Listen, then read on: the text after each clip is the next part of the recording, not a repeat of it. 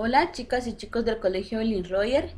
Vamos a entrar a la lección 28 que es correspondiente a la semana número 8 y se trata de realizar un videojuego en la primera fase. En esta lección y la siguiente vas a construir tu propio videojuego.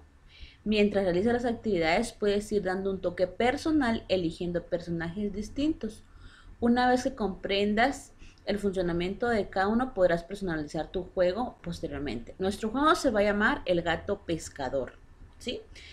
Y vamos a entender de qué, de qué trata. El juego ocurre en el fondo del mar. Un gato sabe bucear muy bien. Se come los peces que se encuentran en su camino. Con cada pez que atrapa, su score sube un punto. Pero en el mar también hay tiburones. Si el gato toca un tiburón, su puntaje disminuye 3 puntos. El juego termina cuando alcanza 20 puntos. Comencemos. Lo primero que vamos a hacer es abrir nuestro programa de Scratch. Correcto. Y vamos a cambiar el escenario. Como dice que ocurre en el fondo del mar, cambiamos el escenario. En la categoría naturaleza puedes encontrar el fondo del mar. Hay tres. Yo elijo el segundo modelo. Le doy OK. Y listo. Vamos a ver qué más me dice el libro. Inicia un archivo de Scratch, ya lo hice, y elimina el objeto que aparece en el escenario.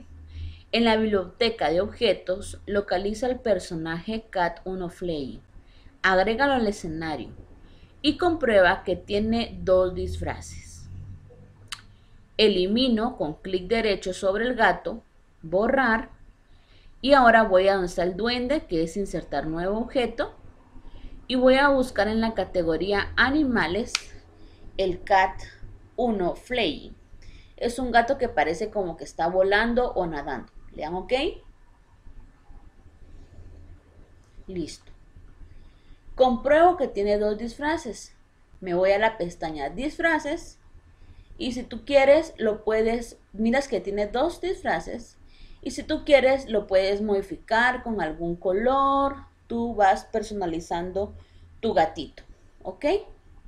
Bueno, regreso a la pestaña programas. ¿Qué debemos hacer en la primera fase? De este videojuego. Vamos a la página 112, puedes ir, abrir tu libro junto conmigo y dice, el primer paso es asegurarte que el gato está al frente de todos los demás objetos, o sea que nadie lo tapa, y que inicia siempre en la misma posición cuando comience el juego.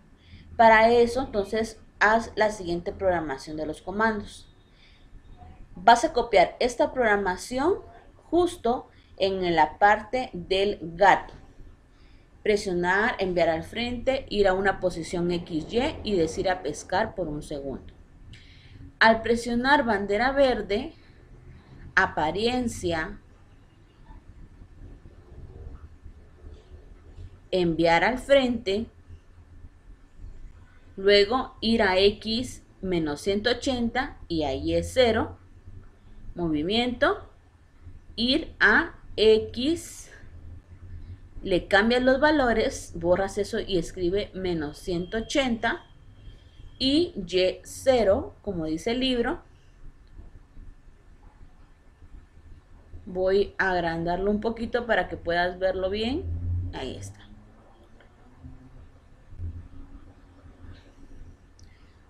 Decir a pescar por un segundo. Es de color morado apariencia. Decir borra la palabra hello y escribe la palabra a pescar por un segundo. Listo. El escenario mide de, menos 240 a 240 píxeles en horizontal y de, 100, de menos 180 a 180 en el eje vertical. El centro del escenario está definido como 0.0. Bueno, el siguiente paso es hacer que el gato, dar la apariencia como que está nadando, ¿sí? Entonces, vamos a utilizar al presionar bandera verde por siempre. Si la te, si preguntar si está tocando flecha derecha, o sea, si está presionada la flecha derecha, entonces cambiar a X por 20. Esto es lo que va a preguntar cada vez que se inicie el programa. Vamos a, vamos a ver.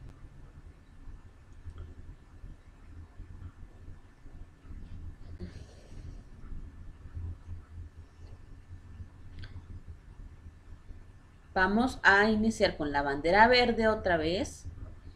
Y vamos a preguntar por siempre, siempre vamos a estar preguntando si la tecla derecha presionada, si, acá está, adentro de este cuadrito hago el sensor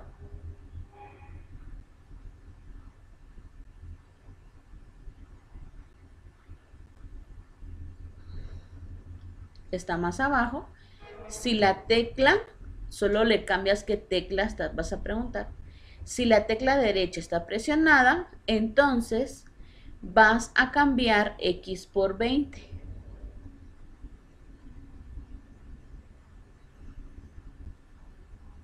Por 20. Eso quiere decir que se va a mover 20 pasos. Ahí está a pescar, lo dijo por un segundo. Y ahora al presionar la tecla derecha, tu gatito tiene que moverse 20 píxeles a la derecha. ¿Sí? Bien, le pones stop y vamos con la siguiente fase. Ahora agrega los comandos para mover el gato hacia arriba. Si la flecha arriba es presionada, Además cambia el disfraz para que parezca que el gato nada hacia arriba. Hasta ahora el programa se verá así. Bueno, vas a insertar otro sí, otra pregunta, pero ahora que diga flecha hacia arriba. Y ahora debemos cambiar la X. Pregunto si, ahora si la tecla de arriba está presionada, entonces debo cambiar Y, porque los movimientos de arriba y hacia abajo es Y y de izquierda a derecha es X. Muy bien, ya tengo esa parte. Pruebo hacia la derecha y pruebo hacia arriba, ya el gatito ya avanza. Pero aparte de eso, tengo que cambiar el disfraz.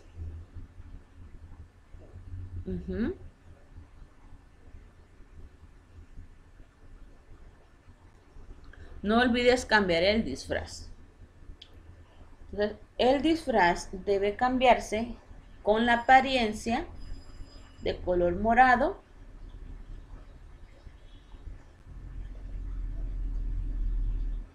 cambiar al disfraz A.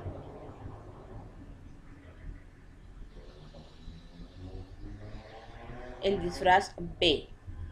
Probemos me voy hacia arriba y ahora prueba que el disfraz cambia. Excelente.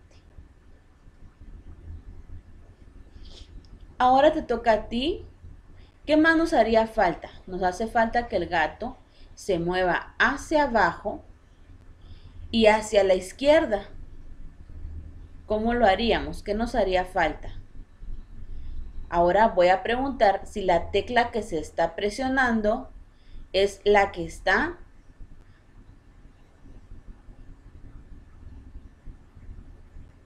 es la que está hacia abajo. Si es la que está hacia abajo, entonces la coordinada que debo mover sería la de Y. Recuerda que hacia arriba y hacia abajo es coordenada Y y de izquierda a derecha es coordenada X. Bueno pero como ahora quiero que se mueva a la izquierda, le pongo el menos 20. Y le digo que regrese a su disfraz original, el disfraz A. Vamos a ver.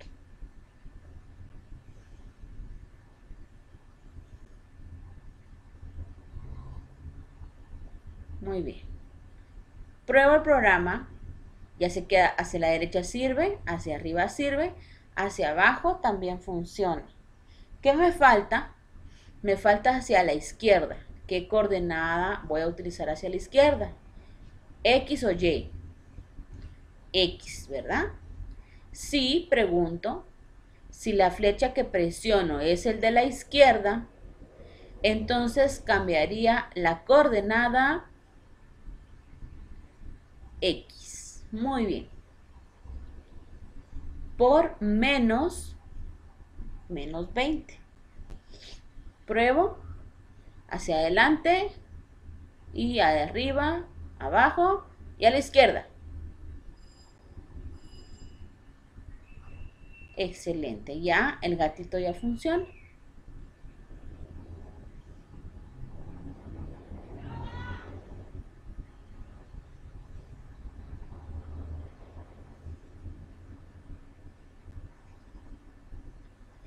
Esta es la primera parte que vamos a hacer en nuestro programa.